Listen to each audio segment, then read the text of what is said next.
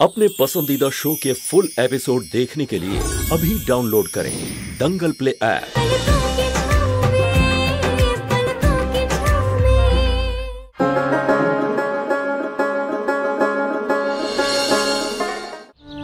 निर्मला जी आप जो भी कहना चाहती हैं बेझिझक कहिए जी वो अंशुमन कुछ घंटों पहले शादी के लिए राज़ी नहीं था और अब अचानक से राज़ी हो गया तो मन में संदेह तो उठता है ना।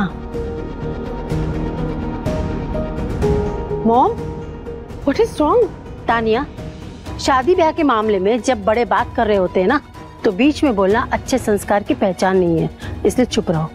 फाइन निर्मला जी साफ़ साफ़ बताइए आपको किस बात पे संदेह है? तभी तो हम सबको पता चलेगा। सुरभि जी आप इसे संदेह कहिए या फिर अपनी बेटी की भविष्य की चिंता? अब देखिए ना तानिया अपना सब कुछ छोड़कर आपके घर बहू बनकर रहने को तैयार है। लेकिन इसकी गारंटी कौन देगा कि कल अंशुमन अपने इस फैसले से मुकर न जाए?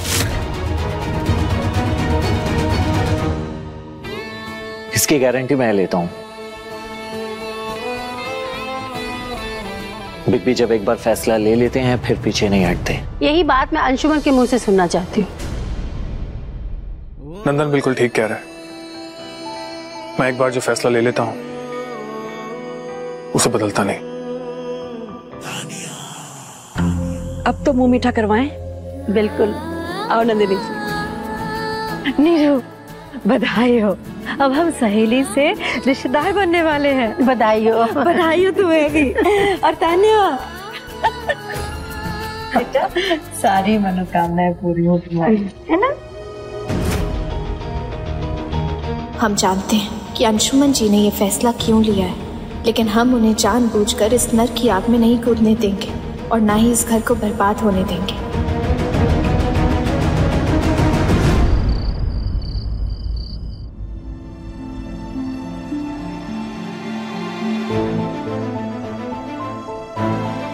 ये लोग अच्छे नहीं है बड़के भैया?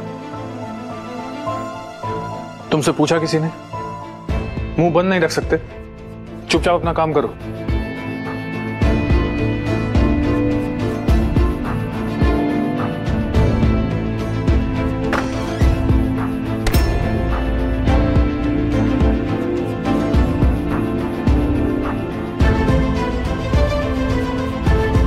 अंगूठी? बड़के भैया अंगूठी।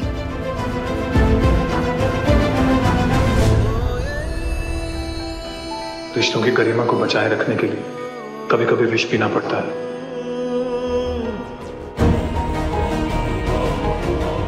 हम जानबूझकर अंशुमन जी को ये गलत रिश्तों का विष नहीं पीने देंगे।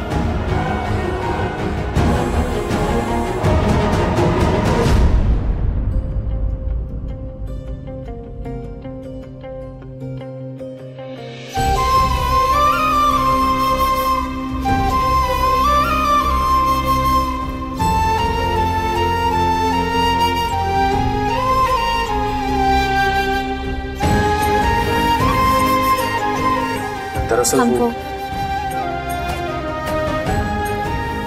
आप बोल लीजिए सुमन तुम ये मत समझना कि मैं कोई त्याग कर रहा हूँ। अंशुमन जी हमें भी पता है सच क्या है पर उस त्याग से बड़ा सच ये है कि आप एक गलत रिश्ते में फंसने जा रहे हैं। बड़े भैया आपके कमरे में अंगूठी मिली है।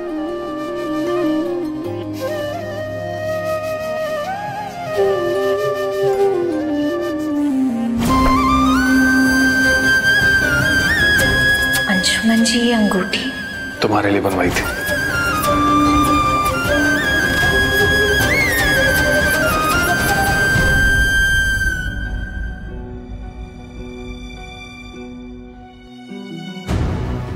क्या है बिगबी ये कुछ नहीं बस ऐसे। कमान हाँ। वैसे भी मैं ना इतना बच्चा नहीं हूँ कि मैं समझ ना पाऊँ। मुझे सब पता है। चलिए दिखाई नंदन कुछ नहीं है इसमें। प्लीज़ दिखाई मैं कह रहा हूँ इसमें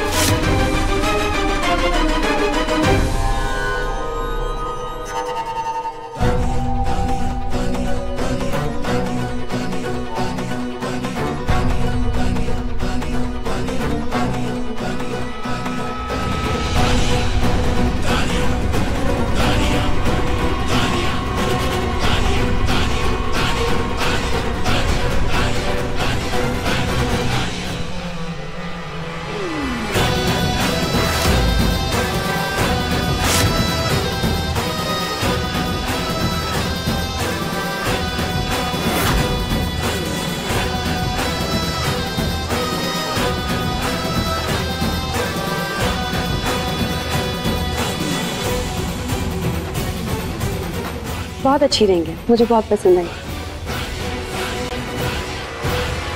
रिंग? रिंग है? हाँ कमाल है बिग एंगेजमेंट डेट अभी तक फाइनल हुआ नहीं और आपने रिंग भी ले ली। दैट्स ग्रेट आप तने जी देख सकता हूँ इतनी जल्दी क्या है? पहले एंगेजमेंट तो होने दो। अंशुमन पहले ये रिंग मुझे पहना तो दे। हम्म।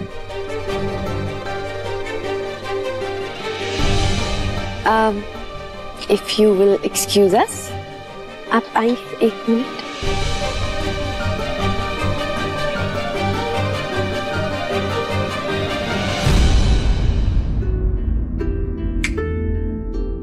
देखा? बी एकदम छुपे रुस्तम निकले। सब कुछ एकदम सुपर फास्ट जा रही है नो रिंग एंड ऑल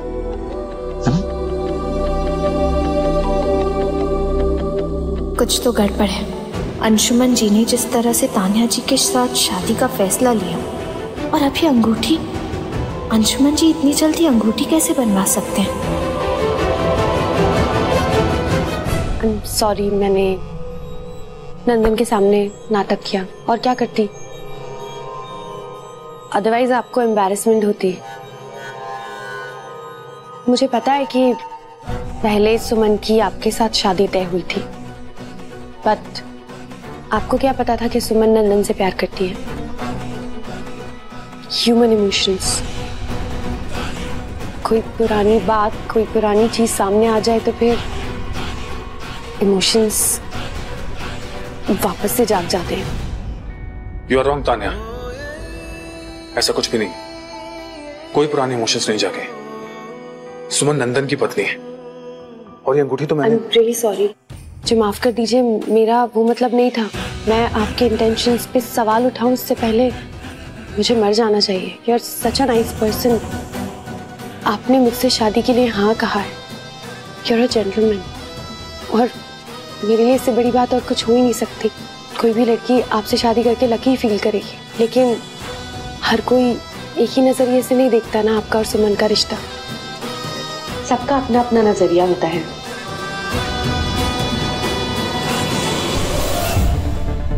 कोई अंगूठी थी दीदी? भड़के भैया के कमरे में पड़ी थी।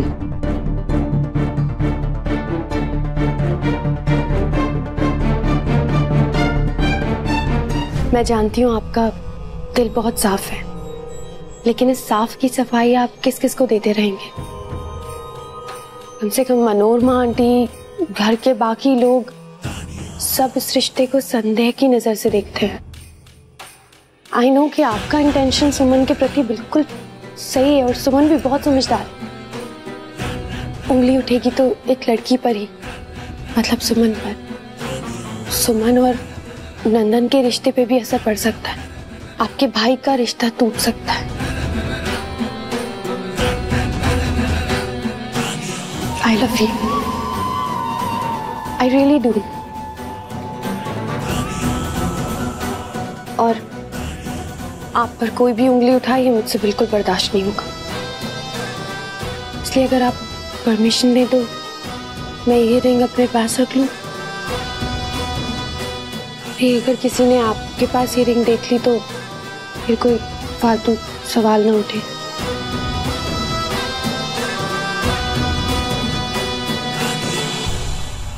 नंदन तुम्हारी कॉफ़ी। थैंक यू सुमन एक मिनट फ़ोन है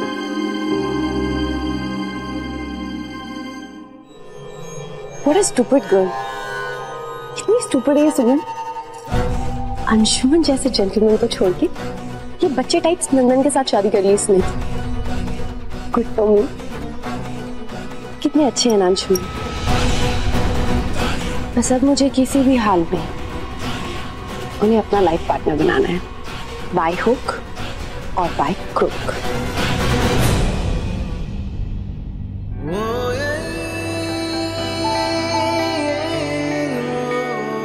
हमें अंशुमन जी को तान्या जी का सच बताना ही होगा। शायद कॉफ़ी देने के बहाने। अंशुमन जी आप भी कॉफ़ी लेंगे? नहीं सुन। काफ़ी देर हो गई है तुम आराम करो।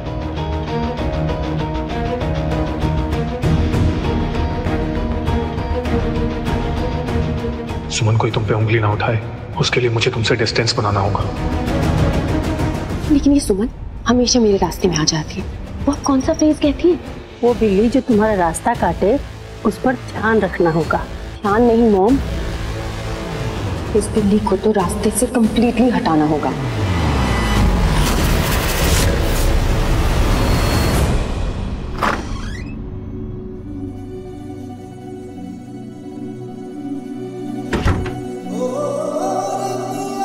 नंदन छोड़ो हमें।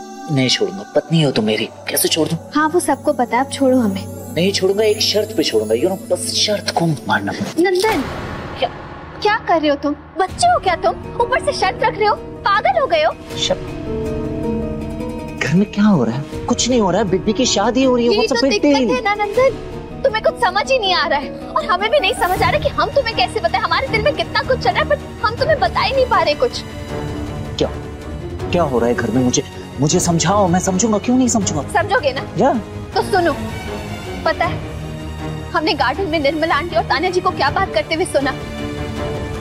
प्यार के चक्कर में तुम अपना असली मकसद मत भूल जाना। उनकी दौलत उनके बिना कैसे जाएगी? हाँ? वहाँ अमेरिका में तो अपना सब कुछ बर्बाद हो चुका है। अब राय बहादुर की दौलत से ही हमारा अमेरिका जाने का रास्ता खुलेगा। सारे सपने पूरे होंगे। और उस दौलत तक पहुँचने का रास्ता है Anshuman. Suman are you sure वो दोनों ये सब बातें कर रहे थे। हाँ नंदन हमने देखा और सुना खुद। है साथ में केतारी भैया भी थे।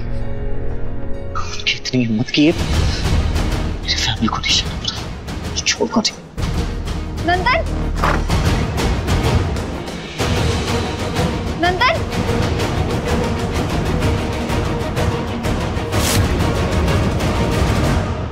तान्या। तान्या। तान्या। नंदन शांत हो जाओ। प्लीज़ हमारी बात तान्या। What happened?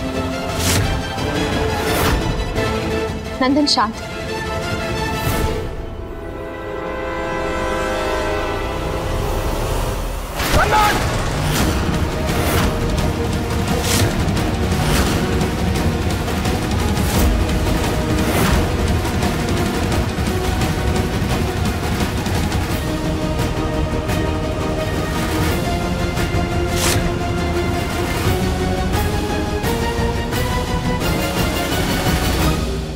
तहजीब तमीज भूल गए हो क्या?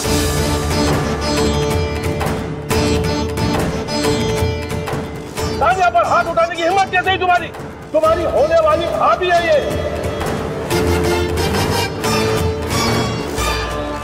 भाभी तो इस जन्म में बनने से रही दादाजी। ये दोनों माँ बेटी झूठी हैं। फ्रॉड और लुटेरी हैं।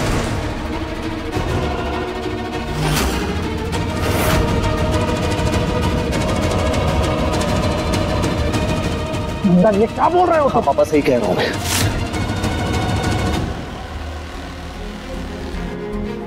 नंदन नहीं बात तुम इतने यकीन के साथ कैसे कह सकते हो? बिग बी इन दोनों माँ बेटी को सुमन ने खुद ये सब बात करते हुए सुना है।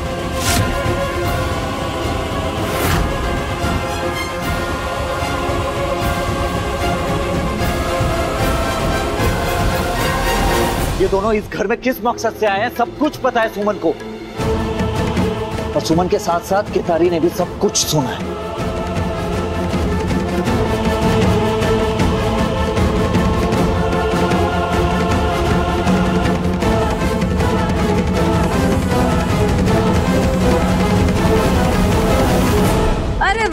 छुटके बहुआ नंदन नादानी कर रहा है।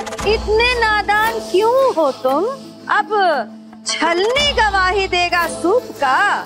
केतारी का सुनोगे? मार पड़ी थी का। याद है?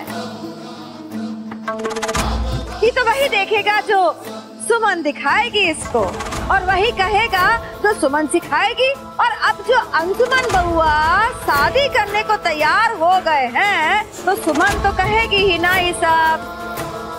समझ में नहीं आता क्या दिक्कत है इस लड़की को कि अंजुमन बहुआ का शादी नहीं होने देना चाहती है ये? अरे हम सबसे ज़्यादा जानती हैं इस सुमन को, लेकिन तुमको लगता है कि तुम सबसे ज़्यादा समझते हो इसको, हैं? अरे तो सुमन से ही क्यों नहीं पूछ लेते कि क्यों नहीं होने देना चाहती है वो तुम्हारी और तानिया की शादी? नंदन के भी कान भर दिए इसने। का नंदन अपनी होने वाली भाभी पे कभी हाथ उठाता? ऐसे तो संस्कार नहीं दिए हमारे छोटकी ने अपने बच्चों को। कि सुमन सावित्री बने ना बने, पर नंदन को नादानी करने पे मजबूर कर दिया इसने।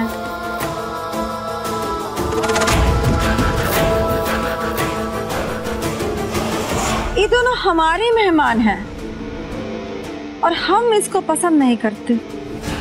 इस बात का दुश्मनी तो नहीं निकाल रही है ना ये हमारे से?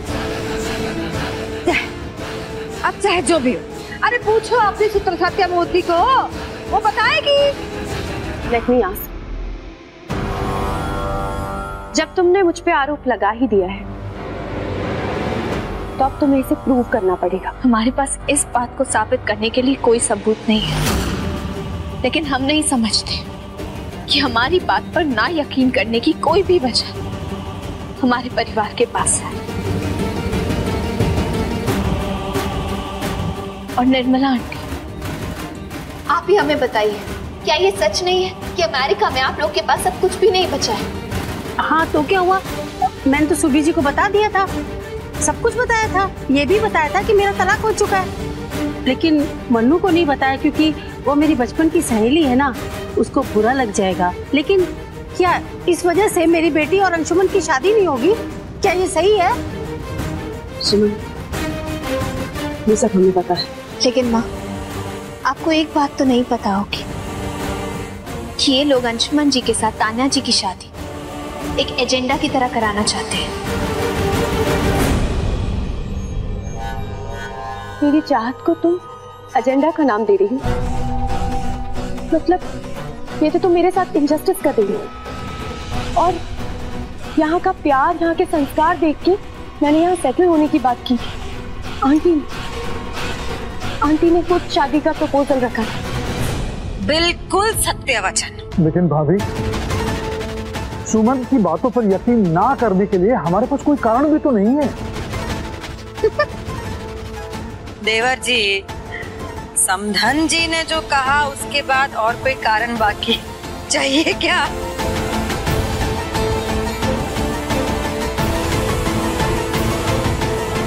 देखो, ऐसी ओछी बातों पर हम विश्वास नहीं करते। और ना ऐसी ओछी बातें दोबारा सुनना चाहते। और ध्यान रहे, सुमन, राय बहादुर खानदान की बहू है। जी भाजी पर पर भाजी आप ही फैसला कीजिए ना कौन सही है और कौन गलत। नीरू की बिटिया को अपने घर का बहू बनाना चाहिए या सुमन की बात मान के दोनों माँ बेटी को धक्के मार मार के घर से बाहर निकाल देना चाहिए। उस बेटी को भाजी जिसने आपके पोते का जान बचाया है। माना कि हमारी स्थिति अच्छी नहीं है, लेकिन अभी हमारी गैरत मरी नहीं है। धक्के मारने से पहले सुमन को हम पर लगाए हुए इल्ज़ाम को साबित करना होगा। और अगर नहीं साबित कर पाई तो? क्यों छटकी नहीं साबित कर पाई तो? का? साबित करने की ज़रूरत भी क्या है दीदी?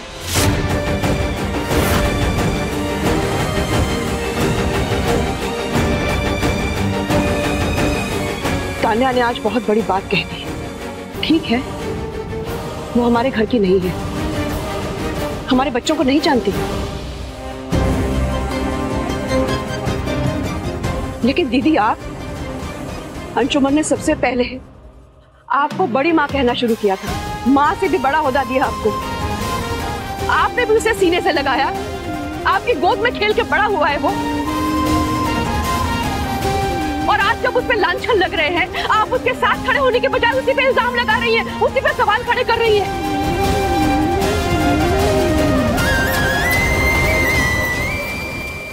उस दिन आश्रम में, जब वो अपनी बात पे अड़ गया था, आपने क्या कहा? कि अंशुमन आपको आँख दिखा रहा है, लेकिन आपने एक बार भी समझने की कोशिश नहीं की कि वो बच्चा, जो आपकी हर बात को लक्ष्मण रेखा की तरह मानता है उसने ऐसा क्यों किया? आप ही ने उसे राम कहना शुरू किया था ना घर का? और आज उस राम पे सवाल उठ रहे हैं और आप उन्हीं सवालों का साथ दे रही हैं, दीदी। तो ये सोच लीजिए कि सवाल किस पर उठ रहे हैं? वो भी तब, जब सुमन नंदन की पत्नी बन चुकी है, उस समय पे अंशुमन पे सवाल उठ रहे हैं। शर्मानी चाहिए, दीदी, शर्मानी चाहिए।